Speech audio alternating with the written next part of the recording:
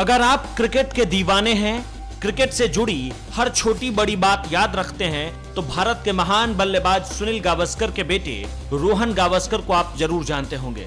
International cricket में बुरी तरह फ्लॉप होने वाले रोहन ने खुद को अब महान ओपनर बताया है।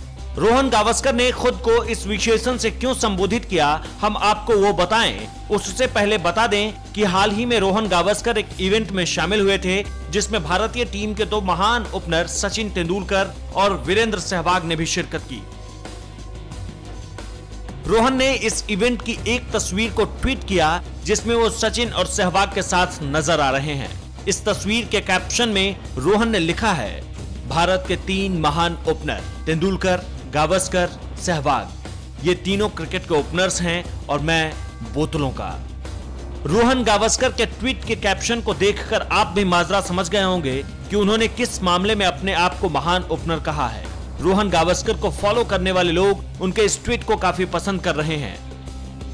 आपको बता दें कि रोहन गावस्कर ने अपने इंटरनेशनल करियर में केवल 11 इंटरनेशनल मैच खेले, जिनमें वो एक सौ इक्यावन रन ही बना पाए, जबकि उनके पिता की गिनती भारत के महानतम बल्लेबाजों में होती है।